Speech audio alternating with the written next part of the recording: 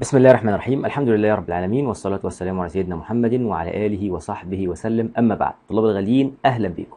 زي ما وعدتكم هنعمل أكتر من فيديو على ال punctuation والحاجات دي. كل كتاب هنوصل للملف اللي هو منزله عن ال punctuation وال writing هنحله مع بعض. النهارده الفيديو ده هيكون أقصر فيديو على ال punctuation. هيكون قصير فعلا بمعنى الكلمة يعني. هحل معاكم الكتاب المعاصر فيه 60 جملة. هحل معاكم في الفيديو ده 30 جملة بس. عشان أفهمك إحنا بنحل إزاي سؤال الترقيم وال punctuation ده في الاختياري. ده شيء طبعا غريب وشاذ. فإحنا نحل مع بعض عشان نفهم الدنيا بتبقى إزاي. تعال نبدأ. بسم الله الرحمن الرحيم. أول سؤال بيقول لي punctuation punctuation دي بداية اللي هو الترقيم. is a system هو عبارة عن نظام of symbols وعايز تحفظ كده الكلمة دي معايا كده. هو نظام من الرموز. يبقى الترقيم ده عبارة عن system of symbols نظام من الرموز that we use in language بنستخدمه في انهي لغة. لو أنت فاكر الفيديو اللي فات أول كلمتين قلتهم لك قلت له إحنا قلت لك بنستخدمه في ال written language اللغة المكتوبة مش المتحدث بها. لأنك أنت بتشوف الكلام مكتوب ما بتشوفوش في الكلام.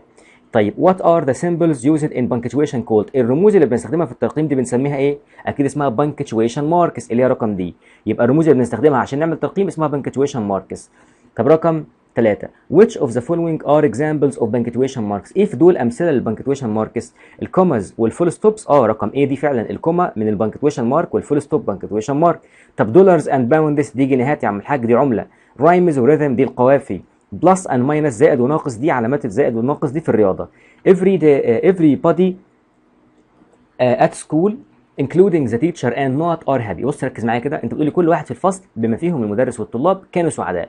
انت لو خدت بالك ان في هنا كده العلامة دي ال comma دي معناها إن اللي في النص دي جملة اعتراضية. الجملة الاعتراضية بتبدأ ب comma ولازم تنتهي برضو هنا كده بنفس القصة comma. فبالتالي إحنا عايزين هنا برضو including the teacher and students وبعدين comma. يبقى رقم كام؟ اللي صح رقم C طيب ما هي رقم كلهم students سمستر في اختيارات. أيوه ما هو كلهم بس هنا محتاجين comma بعدها فمش موجودة. دي جايب لي بعدها العلامة دي. اسمها إيه يا شاطر؟ أكيد أنت فاكر. دي اسمها semicolon طب الأخيرة خالص دي اسمها colon اللي هي النقطتين فوق بعضهم دول. طيب choose statement which أو with the correct punctuation. اختار الجملة اللي الترقيم فيها صحيح. تعال نمسك ونعرف كل واحدة من دول معناها إيه وإيه المشكلة فيها. بيقول لك I met a clever Egyptian woman. أنا قابلت امرأة مصرية ذكية. الصفة دي لمين؟ للمرأة المصرية الذكية. الصفات كلها لنفس الشخص. يعني كده ما إحنا مش محتاجين comma مش محتاجين فواصل. يبقى رقم A اللي صح. طب رقم B هي غلط لأنه قال لك comma comma لما يكون بت بتعمل أكتر من صفة لنفس الاسم ما تعملش comma فدي فيها comma فبالتالي غلط. دي كمان فيها comma فبالتالي غلط ودي كمان فيها comma فبالتالي غلط. اللي فيهم comma لازم تعمل حسابك إنهم غلط. بعد كده في رقم ستة بقول لك this is utterly incredible. إنه أمر لا يصدق. هذا لا يصدق. أنت كده بتعمل إيه؟ بتديني تعجب. يبقى المفروض نستخدم ال exclamation mark اللي هي دي. عايزك تاخد بالك إن إحنا بنستخدم النقطة دي. النقطة دي اسمها dot واسمها period واسمها full stop طب دي اسمها colon طب دي اسمها semicolon طيب رقم سبعة. Question marks are put the words being quoted. ال question mark ال quotation mark sorry ال quotation ده بنحطه فين؟ ال quotation ده بنعمل كده علامة كده وبعدين نكتب الكلام وبعدين نعمل علامة كده. يعني نحطه قبل وبعد الكلمات. تعال نشوف بقى between بين الكلام وبعده؟ لا طبعا مش بين الكلام. طب before آه قبل الكلام بنحطه فعلا بس مش قبل بس. before و after يبقى كده الإجابة إيه؟ الإجابة A and C الاثنين صح. لأنك بتحط ال quotation mark دي قبل وبعد. يعني علامات الاقتباس. Which of the uh, following is used to separate عشان تفصل short clause of a compound sentence. بص بقول لك مين اللي بيستخدمه عشان يفصلوا الأجزاء الصغيرة اللي في الجملة نفسها؟ خد بالك هي فين جملة. يعني هي نفس الجملة يبقى مفيش دوتات. طيب إيه اللي بيفصل الكلام عن بعضه؟ أنت بتكتب مش عارف إيه كده comma وبعدين كلام تاني وبعدين comma وبعدين كلام ف comma. فاللي بيفصل الكلام عن بعضه في نفس الجملة هو ال comma. طب اللي بيفصل الجملتين عن بعض ال full stop أو ال dot أو ال period اللي هم نفس المعنى. Which description best suits the full stop. إيه الوصف اللي بينفع اللي بينفع مع ال full stop يعني ال full stop دي تعريفها إيه زي ما اتفقنا؟ لو أنت ما سمعتش فيديو الشرح بتاع ال punctuation ارجع له. أول واحدة هي عبارة عن a dot أو ما نلعبش بالألفاظ. هي الدوت هي البريود هي الفول ستوب ادوت ذات at the end of a sentence آه فعلا هي بتكون في نهاية الجملة which leads to بتؤدي إلى the next sentence لأ. ليه بقى؟ أنت كتبت لي جملة حلو وحطيت لي نقطة. خلصت على كده وبطلت كلام زي الفل كملت زي الفل فالنقطه ملهاش علاقة بالجملة اللي بعدها اللي بعدها فحته leads to the next sentence دي غلط. طب الثاني a dot at the end of a sentence نقطة في نهاية الجملة indicating that the sentence is complete بتقول لك إن الجملة كده اكتملت آه يبقى رقم B دي صح. لأن بيقول لك إشارة على إن اكتملت الجملة. طب رقم C a curve in a sentence indicating when the sentence should finish. بيقول لك curve كده في الجملة بيقول لك الجملة تنتهي إمتى ملوش علاقة بالنقطة. In a sentence. نقطة في جملة. لا حضرتك. هي نقطة في نهاية الجملة عشان تقول لي إن الجملة خلصت. فرقم D تعريف قاصر. When should you use uh, an apostrophe فاكر ال apostrophe اللي هو عامل زي ال apostrophe عامل زي الواو كده بس متعلق فوق كده. For a, contraction لما يكون في حذف. Where letters are missing آه. لما لما تقول لي مثلا we وتعمل لي كده we've. طبعا أنا مش عارف أستخدم القلم أصلا أنا شاري قلم جديد يا شباب كده فالدنيا بايظة يعني. ويف دي دي اسمها إيه بقى؟ دي اسمها apostrophe إحنا استخدمناها هنا ليه؟ بدل ما حضرتك تقول لي we have حذفت ال H A وحطيت لي مكانها البتاع ده فدي اسمها apostrophe يعني رقم إيه دي فعلا تنفع صح. اوعى تختار وتجري. لازم تقرأ الأربع اختيارات عشان ممكن يقول لك A و B و C و D وكلهم ينفعوا. طيب الجمله الثانية when an independent clause is attached to a dependent clause لما جملة تربط جملة لا جمل مع جمل دي مالهاش علاقة بال apostrophe ال apostrophe دي حاجة على قد الكلمات بس. To indicate possession عشان تبين الملكية where a noun owns a thing. آه صح. انت فاكر لما كنا بنقول في الجملة بنقول Omar's. Omar's. pen. لما كنا بنقول Omar's pen. Omar's pen ده قلم مين؟ عمر. فده كده ال apostrophe بتاع الملكية. يبقى رقم C فعلا صح. يبقى انت كده تختار A and C قبل ما امشي عايزك تحفظ ال- ال apostrophe اللي هو الواو اللي بتعلقها في الكلمة من فوق دي. بستخدمها من استخداماتها. علشان لما يكون في حذف وبستخدمها علشان أقول لك إن دي ملكية. طيب الحاجة اللي بعد كده رقم إحنا قلنا هنحل نص الكلمات دي النهارده 30 فاصبر عليا كده لما نوصل ل 30 11 بقى. What is a function of function of يعني وظيفة ال colon ال colon ده اللي هو مين يا مستر؟ اللي هو نقطة فوق نقطة اللي هم دول كده. إيه وظيفتها بقى يا فندم؟ تعال نشوف. To indicate a series of options. عشان تبين لك سلسلة من ال option من الخيارات. آه صح. فاكر دي إمتى؟ لما كنت بتقول لي I bought the following things. فاكر الجملة دي؟ I bought the following things. وتروح عامل نقطتين كده وتقول لي a pen وبعدين comma a cat وبعدين comma a a وتكمل لحد في الآخر تقول لي and. يبقى أنت حاطط لي حاطط لي النقطتين فوق بعضهم دول. ليه؟ عشان to indicate a series of options. عشان أقول لك على سلسلة من ال options يبقى رقم A صح. طب رقم B to remove water from digested food عشان تشيل المية من الطعام المهضوم. مالنا يا عم ومال الحوار ده؟ طب ده غلط؟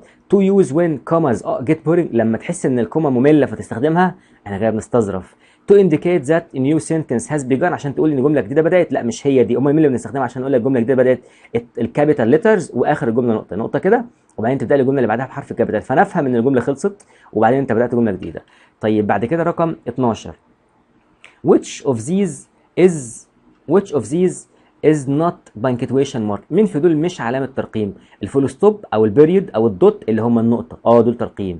هاشتاج لحضرتك الهاشتاج اللي انت بتعمله في في الشات اللي هو ده ملوش علاقة بال punctuation ال comma؟ آه ال comma دي موجودة اللي هي بتكون كده. طيب لا كده يعني اعمل واو يا عم. كده. ال colon اللي هو نقطتين فوق بعضهم. آه موجود معانا. يبقى الهاشتاج هو اللي مش من أدوات الترقيم. Which of the following can be used to express a strong feeling. مين اللي بيستخدمه عشان اعبر عن شعور قوي؟ فاكر انت يعني إيه شعور قوي؟ فاكر لما كنا بنقول wow يا حلاوة وتروح عامل العلامة دي؟ لما تكون تقول لواحد I love you تقول له كده I love you وتروح عامل له العلامة دي؟ العلامة دي اسمها إيه بقى؟ اسمها exclamation mark. يبقى اللي بنستخدمها عشان نعبر عن الشعور ال exclamation mark امال إيه ال quotation mark اللي هم العلامة اللي كده؟ والعلامة اللي كده؟ خد بالك منهم إحنا بنحط الكلام في النص يعني هي بتيجي قبل وبعد الكلام. طب الكويستشن مارك علامة الاستفهام at the end of a question. طب a أو النقطة البيريود يعني النقطة اللي هي الدوت فول ستوب بيحطهم في آخر الجمل.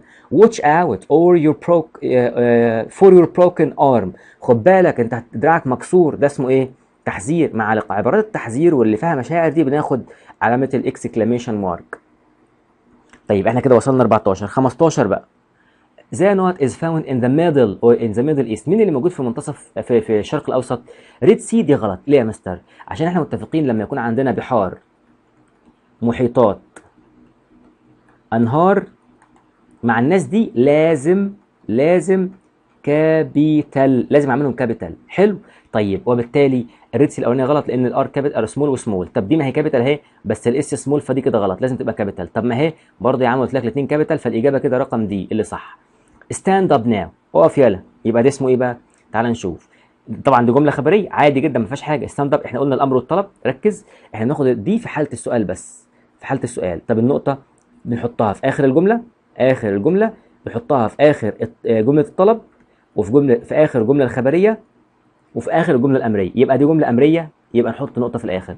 ال colon ودي ال semicolon طب choose the statement which with the correct punctuation اختار الجملة اللي فيها الترقيم الصحيح. أول واحدة my uncle who lives in Asyut is a doctor. عمي اللي عايش في اسيوط دكتور. خد بالك أنت المفروض فاكر لو أنت عايز تقول لي أختي اللي عايشة في القاهرة أختي اللي شغالة دكتورة فأنت المفروض تقول لي إيه؟ تقول لي كده my sister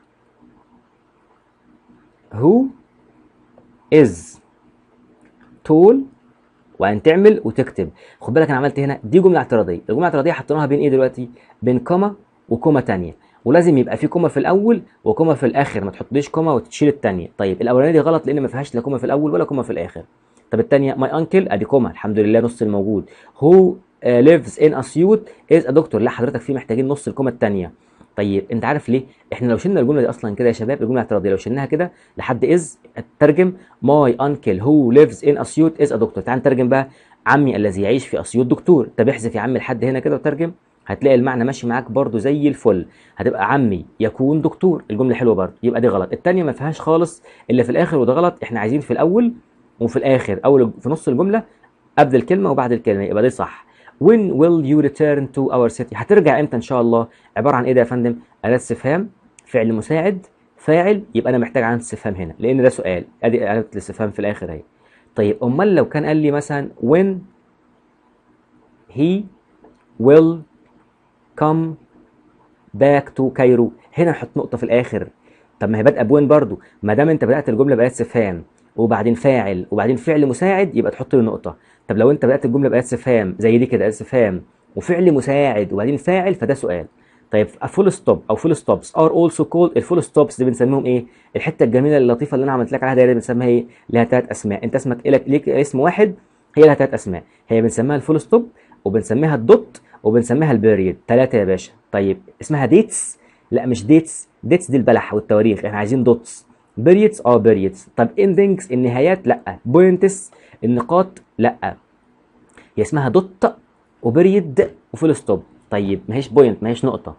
آه which example would not have an mark إيه في دول المفروض ما نحطش فيه exclamation mark وعايزك وأنت بتحل تركز في السؤال. مكتوب not ولا ما فيش نوت ولا إيه؟ مين اللي ما ينفعش نحط له exclamation mark let me out of this box. خرجني من هذا الصندوق. هنترجم الجمل الأول ونرجع نشوف الإجابة الصح. أخرجني من هذا الصندوق. I am going to get some juice. أنا عايز أنا هجيب عصير. Want uh, want some عايز شوية أجيب لك. Punctuation is my best friend. التركيب ده بص أحسن حاجة بالنسبة لي. There is no such thing in English in, in, in there is no such thing as English. ما فيش حاجة في الدنيا زي الإنجليزي. بموت فيها يا جدعان. طب تعالى نشوف بقى. أول جملة. Let me out of the box. خرجني لو سمحت. دي جمله أمر وطلب فنحط في آخر نقطة. طب الثاني I'm going to get some juice. Want some? أنا رايح أجيب عصير. عايز شوية؟ أنا بسألك يبقى ده سؤال. إزاي سؤال ومفيش عنه استفهام ما هو ممكن نعمل سؤال بجمله بالجملة الخبرية عادي. بص أنت لما تقابل حد كده تقول له you are عمر لا لو سمع السلام عليكم you are عمر أنت ده معناها إيه؟ السلام عليكم يا فندم هو حضرتك عمر؟ كده. بالرغم إنك أنت بدأت بمين؟ ب you. أنت بتقول you are عمر. أنت عمر؟ مش بتهزر؟ كده يعني. Is my best friend. التنق... الترقيم ده أصدقاء من أعز أصدقائي. جملة خبرية. حط نقطة.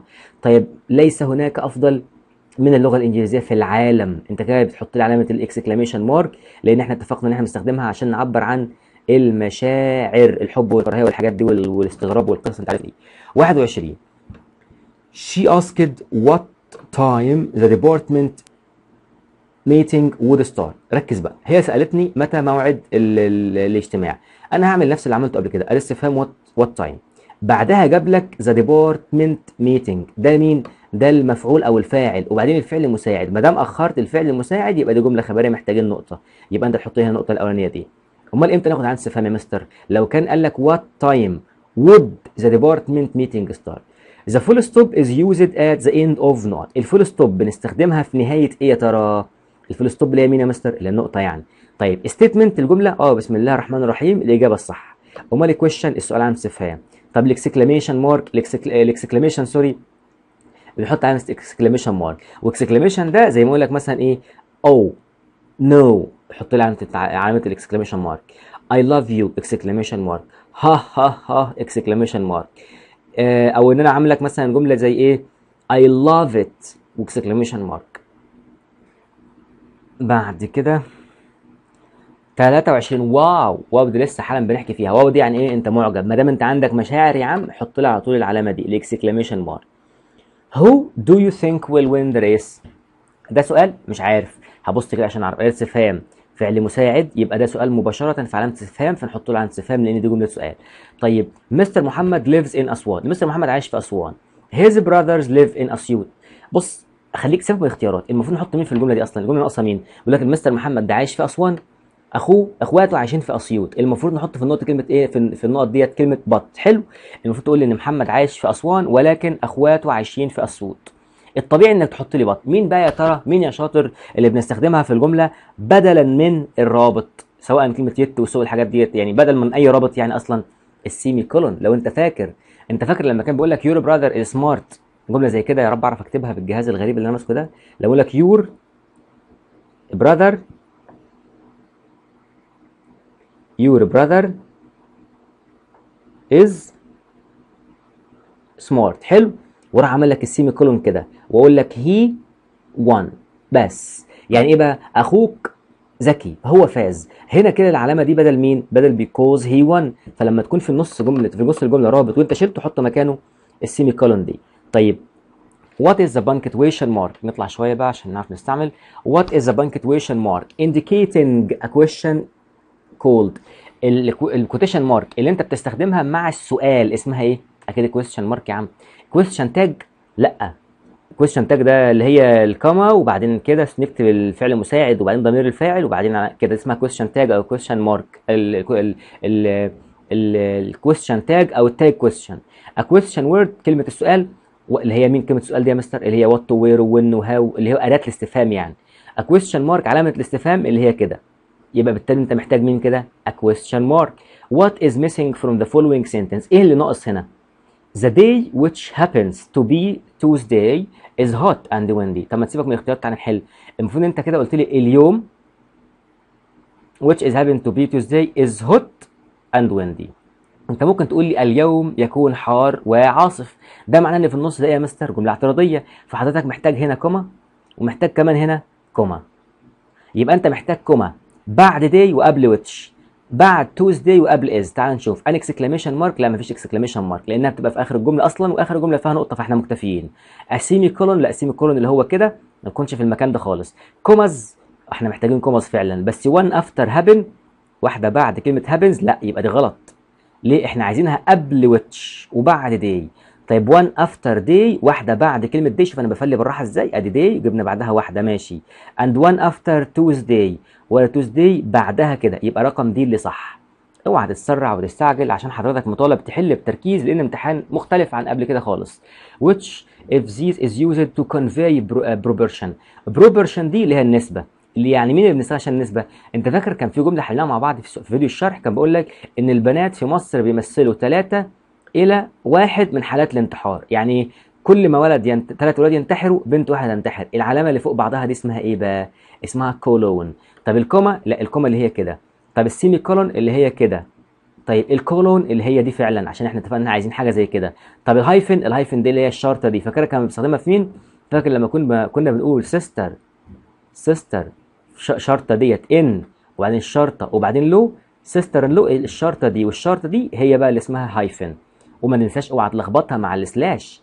في slash معاك اللي هي الشرطة اللي كده اللي كانت بمعنى حاجة من الاثنين or لما اكون لك مثلا بقول لك he or she فراح قال لك he الشرطة دي she أو أقول لك 3 kilometers hours kilometers hours اللي هي 3 k m h مش عارف أعملها يعني عموما. المهم الشرطة المايلة ديت لما تكتب كده الشرطة وبعدين اتش فدي معناها per. باختصار شديد ال slash دي لها معنيين. إما or أو per ارجع لفيديو الشرح لو أنت متلخبط. طب which sentence would mean that عمر is being invited to eat مين اللي معناها إن عمر معزوم إن هو يتغدى معانا ياكل معانا؟ أول واحد let's eat عمر. دي مصيبة سودة لو عملتها. دي معناها هيا نأكل عمر. تعال نأكل الواد عمر نأكله نأكله.